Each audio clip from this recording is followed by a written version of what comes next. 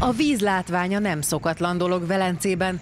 Talán ezért lehet, hogy az esőzések után az utcákon térdigérő víz a turistákat sem zavarja a városnézésben. Rengeteg épület beázott, emiatt sok üzletet, kávézót be kellett zárni, de volt olyan étterem, amelyik gondtalanul üzemelt tovább gumicsizmes vendégekkel és pincérekkel. Olaszország több településén is áradásokat okozott a rengeteg eső, de már el tudták kezdeni a helyreállítási munkálatokat. A szélsőséges időjárás Spanyolországot és Portugáliát sem kímélte. Az ibériai félszigetre heves esőzéssel és néhol havazással érkezett meg a hirtelen lehűlés.